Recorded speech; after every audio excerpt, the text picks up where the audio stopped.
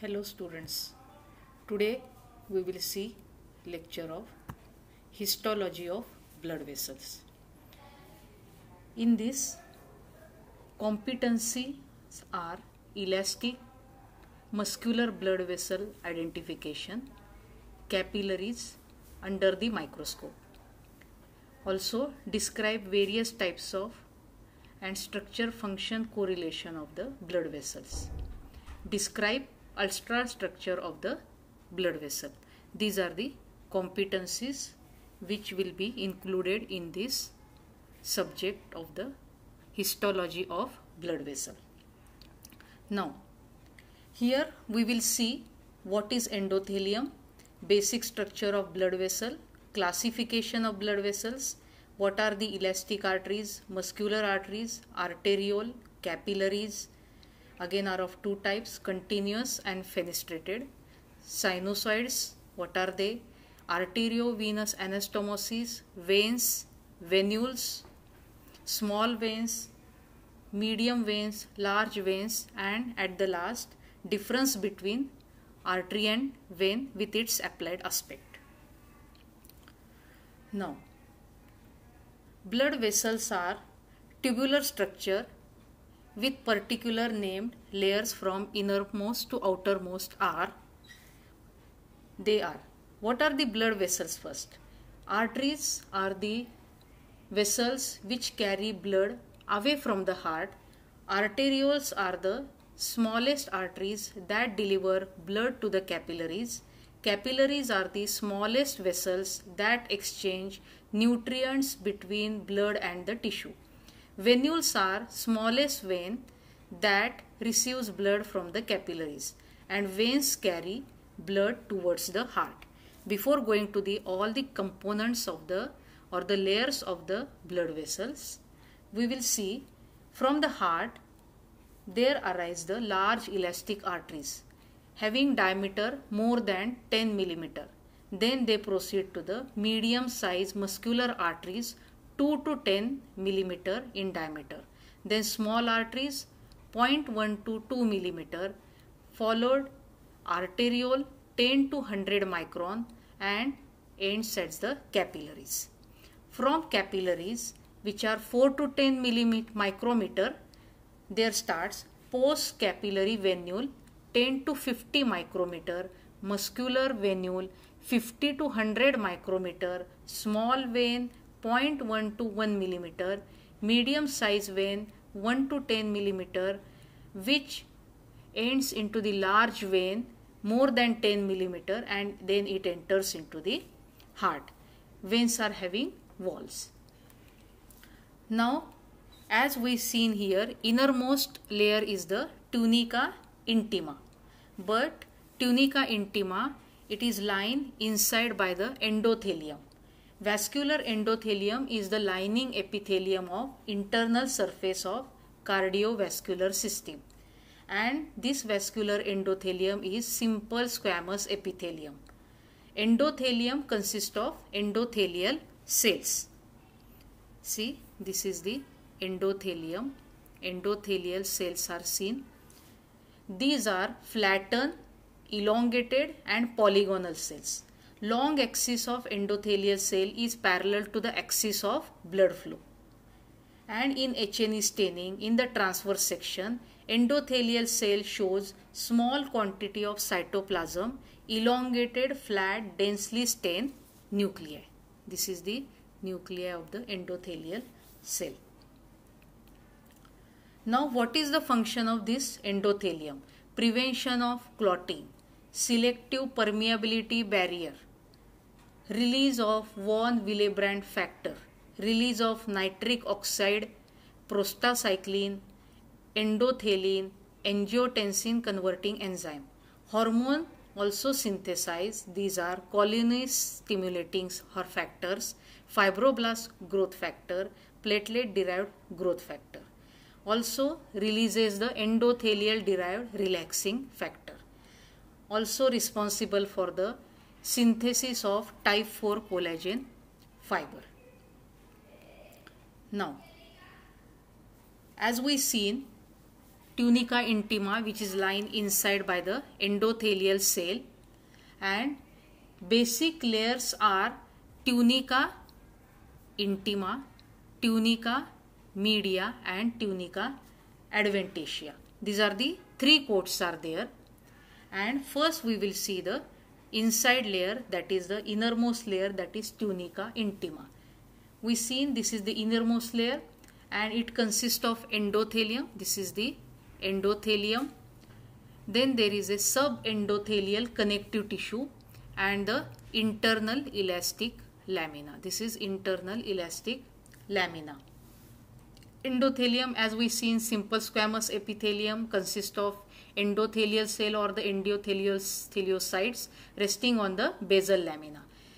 Endotheliocytes are flat, elongated polygonal cells. They are and oriented parallel to the direction of the blood flow. Subendothelial connective tissue consists of connective tissue containing collagen fibers and the elastic fibers. Internal elastic membrane consists of many fenestrated elastic sheet. It is prominent identification feature in the vein not in the arteries. Presence of the fenestration of elastic sheet permits the transmission of nutrients to the outer wall of the blood vessels from its lumen. Now the middle layer. This is the middle layer tunica media. It consists of concentric layers of spirally oriented smooth muscle. These are the smooth muscle labeled over here smooth muscle. And smooth muscle shows the elongated nucleus. Apart from the vasoconstriction, these smooth muscles produce elastic fibers, collagen fibers, ground substance that is proteoglycans. Elastic fibers are present in the form of fenestrated sheets. Tunica media of the arteries are thicker and contains more smooth muscle than that of the veins. External elastic lamina. External elastic lamina separate tunica media from the tunica adventitia. External elastic lamina is thinner than the internal elastic lamina. Tunica media does not contain fibroblast. Now tunica adventitia. This is the tunica adventitia. It is outermost layer of the blood vessel. It is connective tissue layer that consists of collagen fibers, few fine elastic fibers, fibroblast, occasional macrophages. It also contains vasa vasorum that is the fine network of small blood vessels that supply wall of the blood vessel. Also contain nervi vasorum. These are the unmyelinated postganglionic sympathetic nerve fibers that release norepinephrine and produce vasoconstriction. Now what we have seen that is the tunica intima, media and adventitia of the wall of the blood vessel. Tunica intima from inside endothelium consists of simple squamous epithelium. Then there is outside to that subendothelial connective tissue which is the loose type of connective tissue. Outside that there is a internal elastic lamina which is consist of fenestrated elastic sheet. Middle layer is the tunica media. Smooth muscle fibers are there. They are concentrically arranged or the spirally arranged. They produce collagen fiber and the elastin. They are having the fenestrated elastic sheet also and external elastic lamina which is outer to the tunica media between media and adventitia. It doesn't have any fibroblast. Tunica adventitia that is that it contains fibroblasts, collagen fibers, elastic fibers, vasa vasorum and the nervi vasorum Now see this is the arterial wall, artery, vein and the venous wall just for the comparison it is shown between the walls of the blood vessels in the vein artery. Now classification of the blood vessels we will see first. Classification of the blood vessel these are first there are the arteries then there is a capillaries and then there are the veins. Arteries, capillaries and then there are the veins. Arteries carry blood away from the heart. Capillaries nourish the tissue whereas veins carry blood towards the heart. Arteries are again divided into elastic or the large arteries which are called the conducting arteries. Muscular arteries are the medium sized arteries. Are, these are the distributing arteries, small arteries and the arterioles. Then there are the capillaries are there. Capillaries are the network of the vessels in the tissue and they are the site for the exchange of nutrients. It cons again are of two, uh, three types, continuous capillaries, fenestrated capillaries and sinusoidal capillaries. Sometimes uh, it is also mentioned that sinusoids are the separate group of vessels not included into the capillaries. Veins, these are the veins. Veins are again venules which are having diameter 0.1 millimeter small veins, diameter more than 1 millimeter, medium size veins 1 to 10 millimeter, large veins more than 10 millimeter. Now what we have seen arteries, large uh, uh, uh, different types of arteries, large elastic, medium, small arteries and arterioles, capillaries, continuous fenestrated sinusoidal, veins, venules, small veins, medium size veins and the large cells, uh, large veins. Now first we will see the elastic arteries. These are also again classification of the blood vessels. Now first we will see the arteries. Elastic artery. First we will see artery in that elastic artery. Large size arteries also called conducting arteries. Example aorta, pulmonary trunk, brachiocephalic artery, small, sorry, common carotid artery, subclavian artery, common iliac artery and pulmonary artery. Diameter is more than 10 millimeter. These arteries convey blood from heart to the muscular artery. Hence they are called the conducting arteries. They are function as the diastolic pump. Structure of the elastic artery. Again, these are having the three layers tunica intima, media and adventitia. Intima consists of again endothelium that we have seen the basic structure that is the endothelium, subendothelial connective tissue and internal elastic lamina. Endothelium, this is the lumen side and it is having the endothelium. It is simple squamous epithelium. Then there is a subendothelial connective tissue and the internal elastic lamina tunica media is the thickest. This is, this is the in the elastic artery. Tunica media is the thickest layer in the wall of the artery. It consists of many layers of smooth muscle and fenestrated elastic lamella or the sheets. Vascular smooth muscles produce elastin and the collagen. Layers of the smooth muscle fibers are separated from each other by the concentric fenestrated sheets of elastin in adult human aorta 40 to 70 elastic lamella are present both internal and external lamella are not clearly differentiated from other elastic lamella of the tunica media in the elastic artery. Tunica adventitia of the elastic artery is relatively thin as compared to the media. This is the adventitia. It consists of longitudinally running collagen fibers. It also shows the fibroblasts, macrophages and fine elastic fibers. It also contains vasa vasorum and nervi vasorum just we seen tunica intima, media and adventitia and its content. Now these are again same.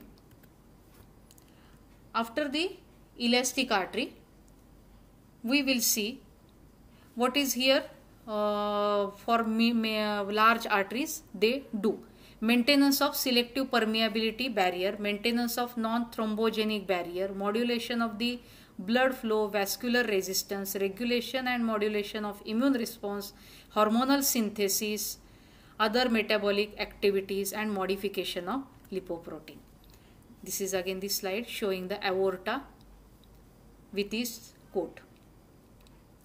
Now after the muscular art, sorry after the elastic artery this is the special stain in which elastic fibers are seen as orange.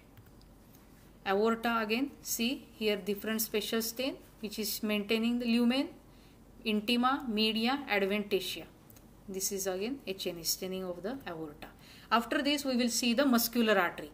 Here is this is the slide of the muscular artery and this is the diagram showing the muscular artery it is medium size artery having diameter of 2 to 10 millimeter these arteries distribute blood to the tissues, hence are called distributing arteries.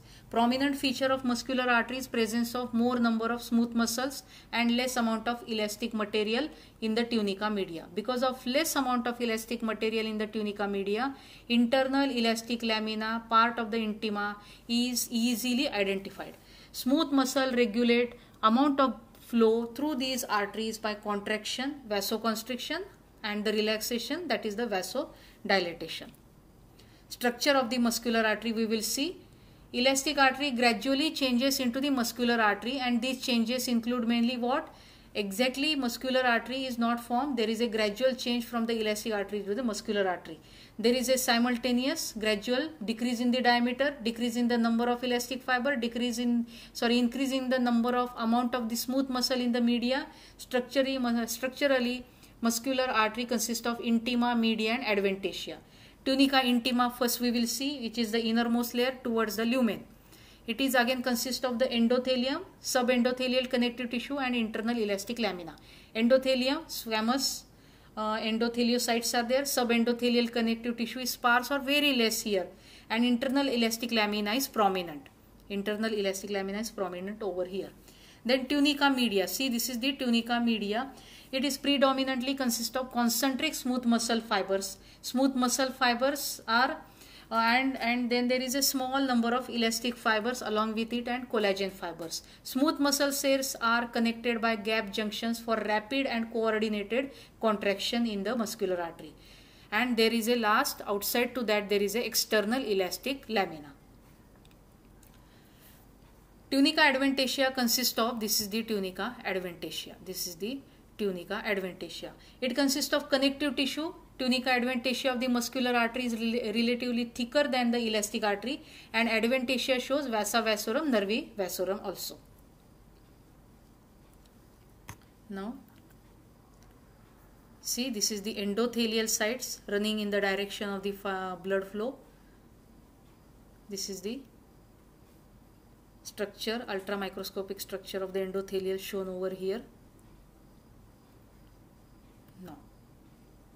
After the muscular artery. As we seen muscular artery, that is the is tunica intima media how what is there and in adventitia also what it contains. Now, uh, now we, we can compare the elastic artery from the muscular artery. In the tunica intima, elastic artery, uh, there is a significant amount of the subendothelial connective tissue and in the muscular artery it is scanty. Internal elastic lamina is not clearly identifiable in the elastic. In the muscular artery, it is clearly visible. Difference in the media is many thick fenestrated elastic uh, lamina are present in the elastic. Here very less elastic fibers are present in the muscular artery. Smooth muscles are present intermittently in between the elastic lamina in the uh, elastic artery. But in the muscular artery, smooth muscles are main in present in many layers. Adventitia relatively thin a layer of connective tissue in the elastic artery and thick layer of fibroelastic connective tissue in the muscular artery. Examples of elastic arteries aorta, carotid, subclavian while muscular artery example is brachial artery and the femoral artery. After this we will go to the arterioles. Muscular artery divides, redivides to give rise to the vessels called the arterioles having diameter less than the 100 micrometer. Distally, arterioles from the capillary plexus. Arterioles are grouped as muscular artery or the large arteriole which is having diameter of 50 to 100 micrometer and terminal arteriole diameter less than the 50 micrometer. Structure of the arteriole what we will see what it is. Again it consists of intima, media and adventitia. Intima again consists of the subendo, uh, simple squamous epithelium that is the endothelium and the subendothelial connective tissue. Tunica media, here layers of the tunica media. See here, there is 1 to 3 cell layer thick. It is the media 1 to 3 layer cell thick of the vascular smooth muscle cell. Again, media, it forms the pre-capillary sphincter or and the uh, forms the function of vascular resistance. Tunica adventitia here, thin connective tissue layer that separate arteriole from the adjacent structure and it may not be clearly distinguishable. Function of the arteriole regulate the blood flow through the capillary plexus and arteriole increases the vascular resistance. This is shown of the arteriole.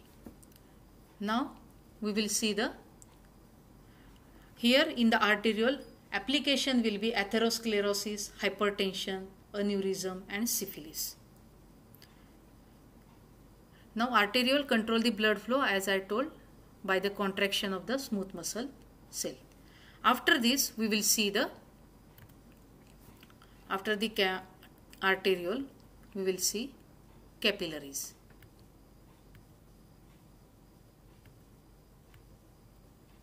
Capillaries are the smallest blood vessels and these are forming the network that connect arteriole with the venule and nourish the tissue.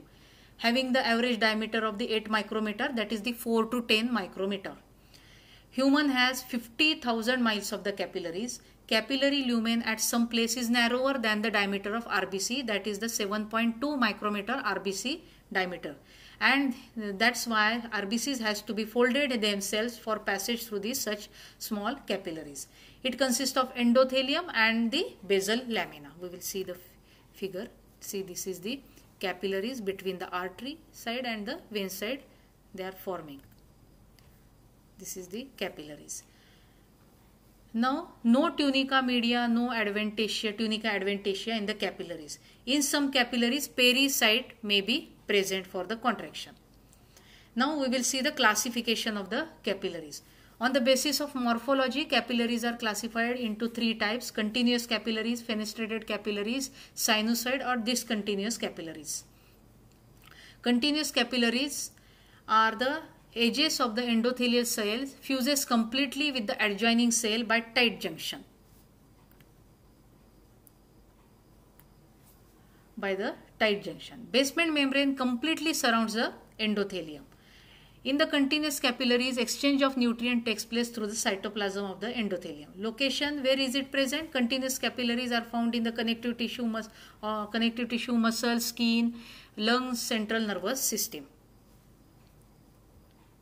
Then the fenestrated capillaries. We will see the fenestrated capillaries. See, these are the continuous capillaries just we have seen tight junction between the endothelial cell and where it is present and see also the pericyte present over here. Now the fenestrated capillaries, endothelial cells have numerous, numerous circular openings called the fenestration. Numerous circular openings are there called the fenestrations. Size of the fenestration is 50 to 80 nanometer. Basal lamina is continuous and covers entire capillary. Fenestrations develop because of the pinch of the process of pinocytosis. This is just new concept developed and the thin endothelium lose its periportion on the pinocytosis leaving behind the fenestration. Location where is these are the present fenestrated capillaries are present in the renal uh, glomeruli, pancreas, endocrine gland, intestinal villi, choroid plexus, ciliary process of eye and the gallbladder. Now we will see the sinusoidal capillaries. What are the sinusoids? These are the discontinuous capillaries. Large irregular gaps are present in the wall. Endothelial cells have pores, large pores or the slits. Most of these pores are not closed by the basal lamina. Because of sluggish blood flow, sinusoid provides chance for the exchange of bigger molecules easily through them. Where is it present? It is present in the liver, spleen, lymph node, bone marrow, endocrine glands that is the adrenal cortex, hypophysis cerebri, parathyroid gland and the carotid bodies. In liver, sinusoid walls are showing the two special types of cell that is the Kupffer cell and the Ito cell. In the spleen, endothelial cells have unique elongated shape and have gaps between the adjacent cell. See this is the fenestrated or sorry the uh, discontinuous sinusoidal capillaries. See the capillary. Types of capillaries seen over here fenestrated continuous and the fenestrated capillary and these are the sinusoid. We seen where is it present. Now as we seen the capillaries are uh, are of we see uh, continuous fenestrated and sinusoidal. This is the chart showing the we already seen difference between large elastic medium size artery small arteries arterial difference and capillaries three types of capillaries. Now we will go to the venules. Venules are the collecting the blood from the capillary blade and to carry it to the veins. Now how all these veins or the venules how they start and what are its uh, histological feature we will see veins as we seen carry blood towards the heart Based on the diameter, veins are classified as venules, small veins, medium veins, large veins. Venules and the small veins. Smallest vein is called the venule, collect the blood from the capillaries. Diameter of the venule is 0.1 millimeter or the less. Venules are of two types, postcapillary venule and the muscular venule.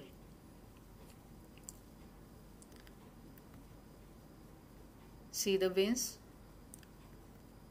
veins to venules we will see. Now the veins. Veins again divided we see in that small veins that is the postcapillary muscular medium size and the large veins. First we will see the medium size vein.